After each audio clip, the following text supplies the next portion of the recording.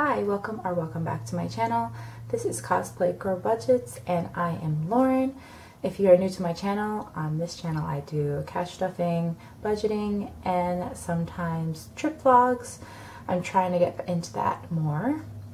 Um, so welcome if you're new. I hope that you stay and join my journey. Um, today we we are stuffing some cash today, not from any paycheck. I actually was kind of organizing my office area and I completely forgot that I had money in my AnimeCon binder and I decided to reallocate it because I don't really need to buy a convention badge um, at the moment. Uh, I'm gonna kind of save up for that slowly in a, a separate time. So I decided to reallocate the money going towards some of my binders. So let's count the cash.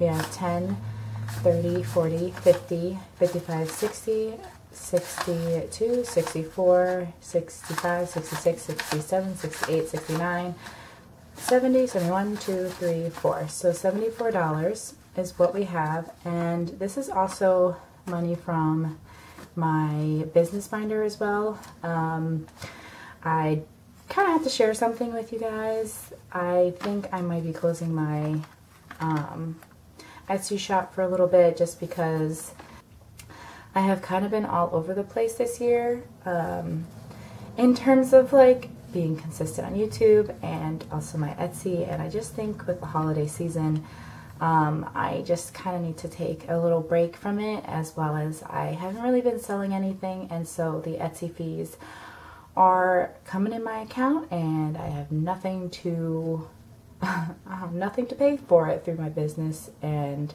right now I'm very like kind of financially pinched and I don't really have that extra money just to pay for you know the, all of the Etsy fees. So we're just going to uh, close down the shop for uh, temporarily and I will have on the screen and down below what date I'm going to be closing it because um, I haven't really decided quite just yet. But yeah, so this is going to be a mini cash stuffing as well as um, a bit of a debt confession. So yeah, we'll do some cash stuffing just because it makes me happy. Um, and then we will face forward and you will see my lovely face for a little chat. So let's get into it.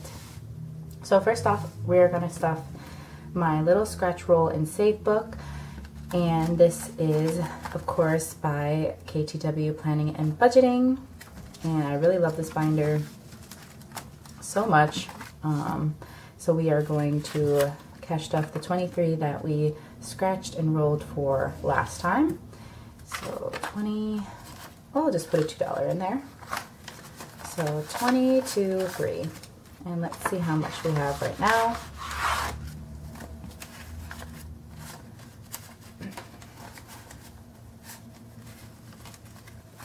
So in here we have 50, 70, 90, 110, 120, 125, 27, 28, 29, 30, 31, 32, 33. All right, 133 is in here, which is exciting. It's gonna get uh, me all jumbled up with a $2 bill. I might have to change that. not used to counting with twos. Uh, normally I would scratch and roll, but um, I might put a pause on this for just now um, and kind of see where to go from here. Um, I'll talk more about that in my debt confession, but for now we're not going to stretch anything. So that's it for that. Next up is my adventure binder.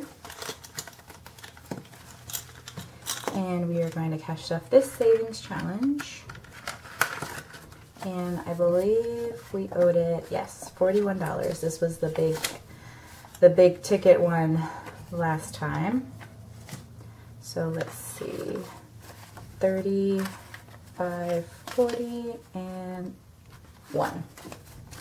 Let's see, 10, 30, 10, 20, 35, 41.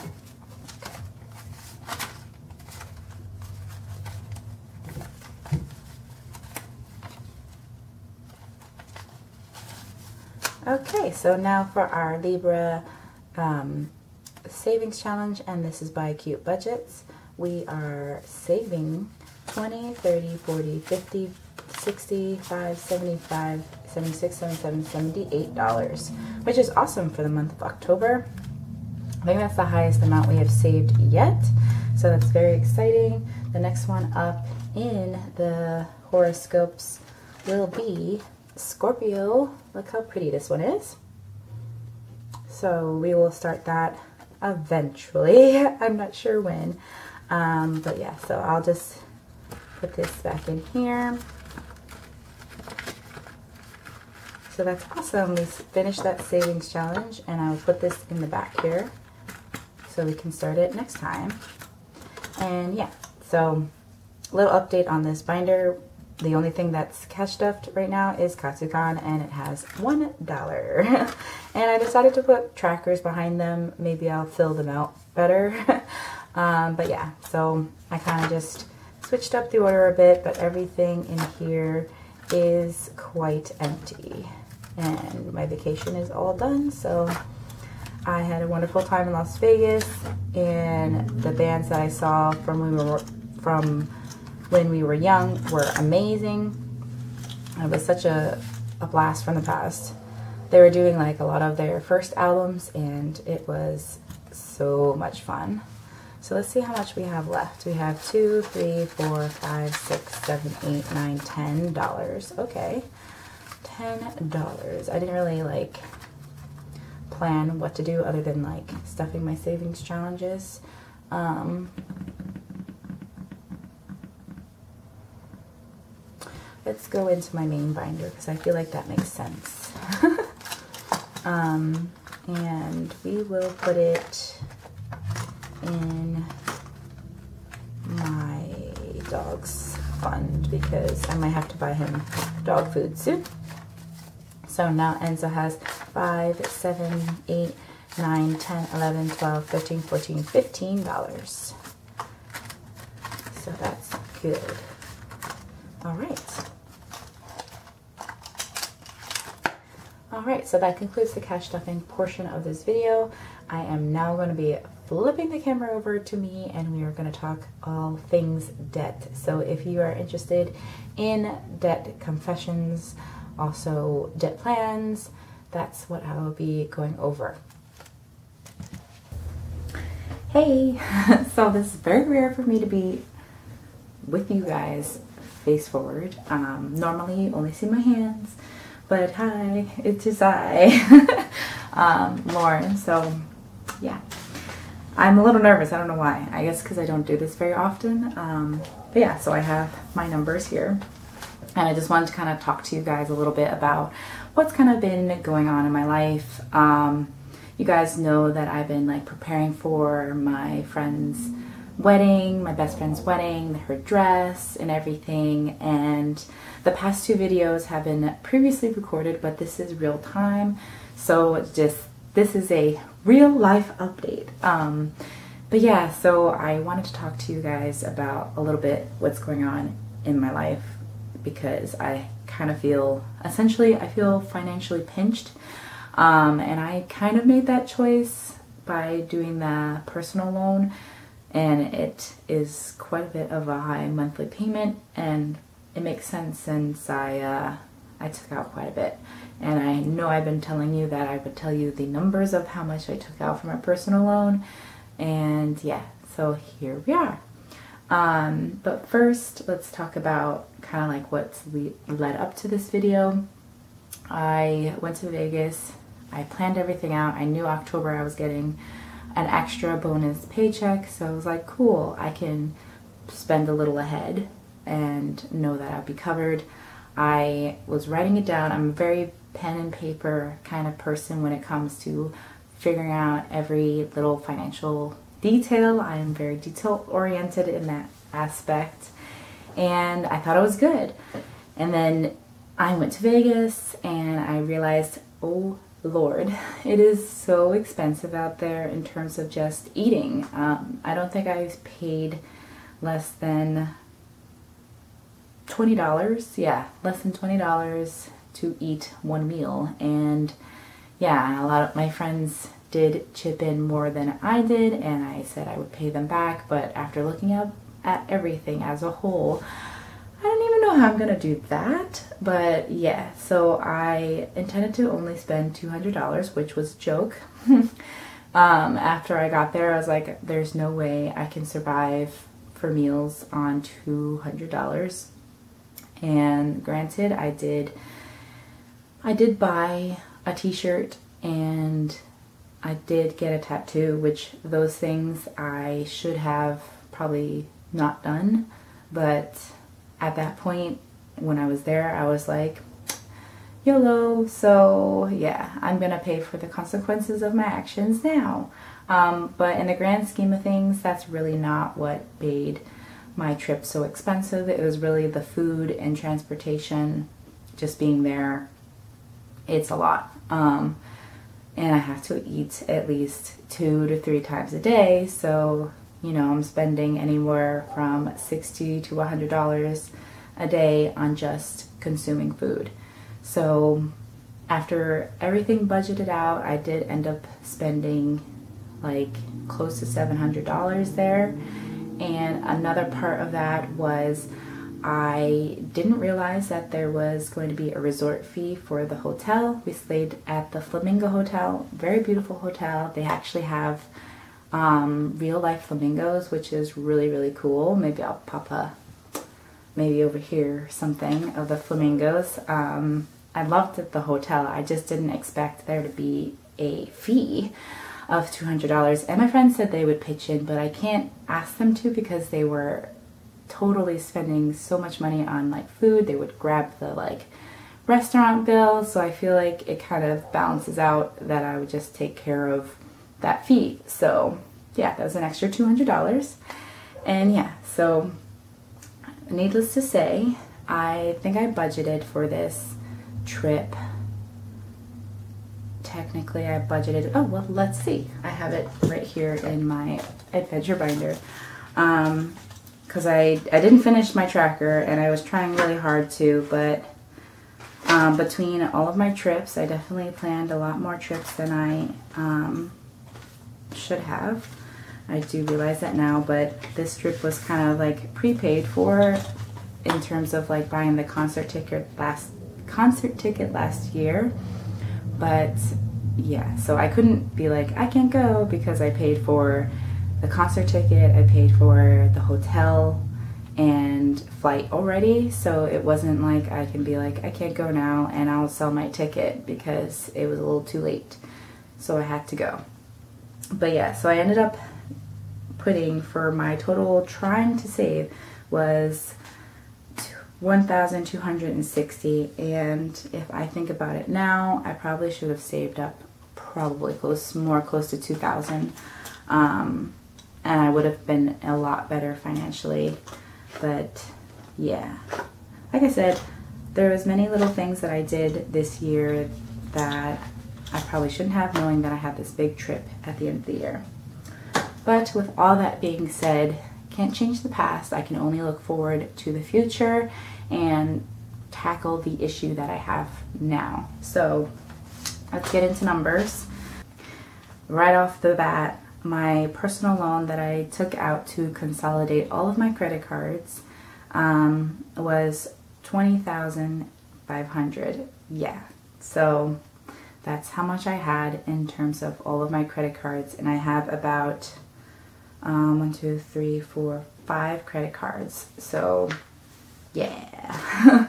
um, so I did make my first payment and it brought down the balance to $20,440.26. But if I was to pay it off today with interest that's been occurring since I took it out, it would be $20,543.40. So the first payment that I made was $511. And I know as I pay it and it brings it down, the interest will be less and less. But yeah, that was a really big chunk. It was basically like I didn't even pay the first month. I was just paying the interest. So yeah, there's that. um, my car payment, it started at 12,100 and currently it is 9,346 and 70 cents and if I was to pay it off today it would be 900 uh, 900 I wish 9,364 and 51 cents so we are going pretty good with that one. I have been paying it for now over a little over a year so we still have a while to go but um, making good progress on that and that one is my 202 um, and I believe it's like 96 cents or something like that. Um, 66 cents. I like to be very accurate. um, so that is not that bad. And then um, currently on my credit cards, I have my Amex Rewards card at $59.11. I did end up putting a little bit of the Las Vegas um, expenses on there. And, and as you could probably hear, Enzo has come to visit me. um, let me show you what he looks like. Enzo. Yeah, so I put some expenses on there. Um, just like a Uber because it's connected to that card.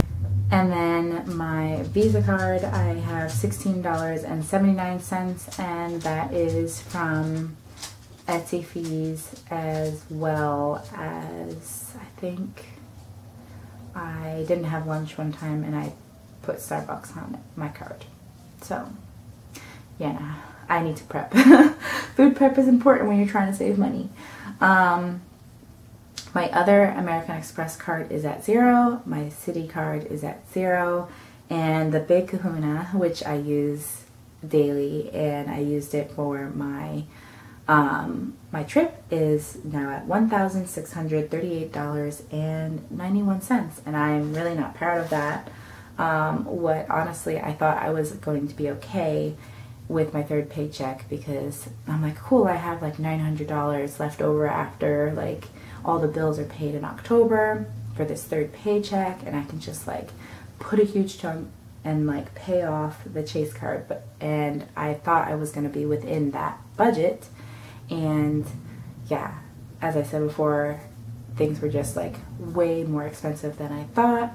So yeah and then I thought about it as I was like oh I'll just do my I like to do my monthly um, my monthly budget in advance and I was doing it and then I forgot that I needed to save half of my personal loan in my last paycheck from October. So that's $255 that is not going towards my chase card and yeah so that really like screwed everything up because I'm like wow I really can't pay off my credit card. Um, yeah and I do have 140 that was going to go towards my credit card. So that was going to be like a thousand. And I thought that's where I was going to be at. And instead I'm at 1600. Uh, yeah. So I'm trying not to cry because I'm very like very upset with myself for not getting things done correctly and spending and and spending in, in advance. I expressed to you guys when I took out the personal loan that that I needed to be a little bit more strict with myself because if I do put money on my cards, then I won't really have money for my daily expenses. So, and I did it. I did that anyway. Told you guys this is going to be a little bit raw and real today. Uh, yeah. Let me collect myself. And you know, I'm not I'm not crying because I'm sad. I'm crying because I'm I'm frustrated with myself. And I know I know I'm just being hard on myself. Um, because I know I can get out of it. I have shown on my my channel that I've gotten out of my credit cards but it's just like a continuous cycle of that I pay them off and then I put money back on it. I think it's because that idea of like spending in advance, that's where you get into trouble. So maybe I will focus on not doing that anymore and spending what is in exactly in my budget and what is in my account and in my binders. Um, so the reason why I didn't roll or uh, scratch off anything is because I'm not um, I'm not sure I might empty my binders just so that I can get a chunk of the chase card down. Um, it's gonna really suck, but I need to not have a large uh, fee for interest because I know with it being 1600 I probably will have an interest of at least a hundred dollars. So yeah. Hundred dollars paid to them which is really upsetting. Um, which is what I was trying to avoid by doing a personal loan is like minimizing all of my interest because it was like an insane amount of interest versus like interest on one thing and I did end up getting a good percentage on that personal loan. It's just that the amount of money it had, it like ended up in the higher of the bracket. So I think it's at like 14%. Um, but yeah, so I also thought that like by doing this personal loan, I would be able to like squash the debt really quickly um, as soon as I moved in with um, a family member um, I was gonna move in with them, but no, to no fault of their own, they just can't do it at this time. So I'm still here. I'm still here with my $1,850 rent.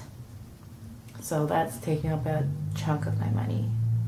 Um, but yeah, so I still can am going to continue to find a cheaper rent. I'm okay right now. I need to be grateful that I have a roof over my head. I have every part of my bills paid. Nothing is going to be paid late. It's just that the amount of money that I have to spend on my daily necessities is very, very low. And I've never felt this like pinched, constricted, um, in a very, well, ever honestly. Um, so we're at rock bottom and there's only up from here. So I'm going to try to hold on to that positivity and we are just going to I'm just going to keep documenting this on YouTube because that is why I wanted to make this channel is a documentation of my financial journey and it is to share with you the do's and the don'ts and how I handled it. So hopefully that this helps anybody and maybe makes you feel at least not alone in the crazy financial situations that we get into. Um, but yeah, so with that, I'm going to say bye before I start bursting into tears again. Um, thank you so much. You guys like make my day every time you comment on my videos. You don't know how much it means to me. So thank you so much and I will talk to you in my next one. Bye.